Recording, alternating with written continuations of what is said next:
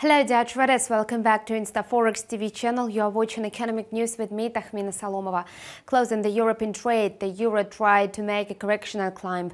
However, the efforts were in vain. The euro-dollar pair crept up to the level slightly above 1.1340. The currency pair closed the trading week in Europe at nearly 1.1345.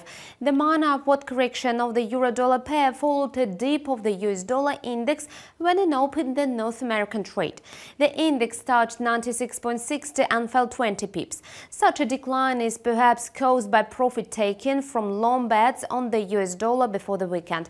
The US dollar is likely to assert strength again on the back of rising political uncertainty.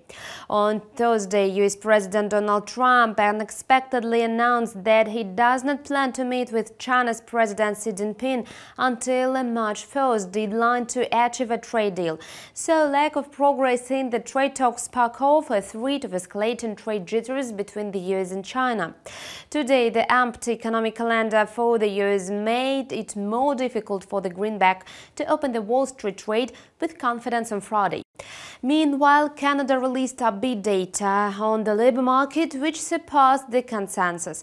The number of employed people increased by 66,800 in January, following employment contraction in December.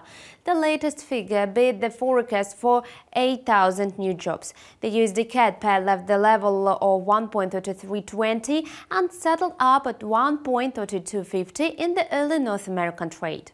Traders are braced for a new turbulent week. The US and China's top officials are going to continue the trade talks in Beijing. Market sentiment will mainly depend on outcome of the meeting. That's all for today. Thank you for watching. I wish you a happy weekend and see you next week.